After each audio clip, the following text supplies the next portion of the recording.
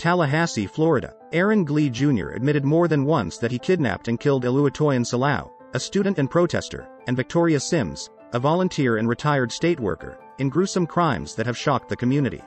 Glee gave up his right to stay silent and told officers what happened.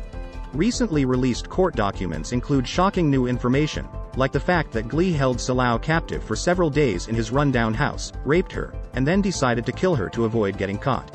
The papers also say that Salau, who was 19, and Sims, who was 75, may have met in their last days after Glee set up for Sims to pick up him and Salau at a bus stop. Glee, who is 52 years old, was supposed to plead guilty in January, but he instead said he wanted a trial. Later, in June, he pleaded guilty to first-degree murder and kidnapping.